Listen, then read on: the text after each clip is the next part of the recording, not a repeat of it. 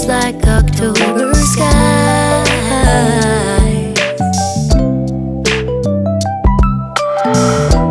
Fumbling Lost all track of space and time.